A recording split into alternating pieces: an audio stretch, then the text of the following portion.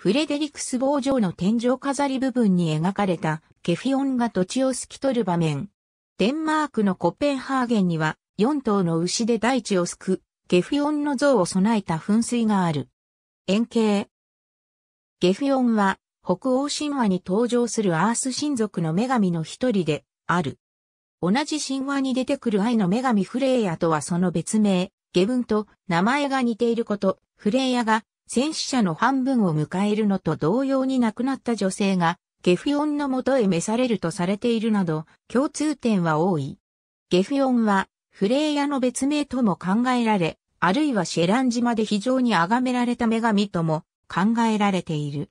コエッタのロキの口論第21節においては、アース親族の主神オーディンから人間の運命をすべて知っている女神と言われている。ユングリング家のサガ第五章によると、ゲフィオンはオーディンに命じられて、新しい土地を探すべく、スウェーデンのギルヴィ王を訪ねた。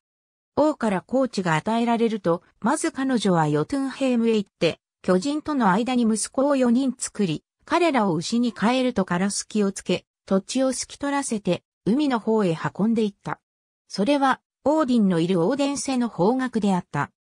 スノーリの言った第一部、ギュルビタブラ歌詞の冒頭には、ギュルビ王から4頭の牛が一昼夜で空いた土地を与えると持ちかけられた旅の女が、実はゲフィオンで、自身が巨人男性との間に設けた息子に大地を透かせて、大量の土砂を海に運び、島を作ったことが書かれている。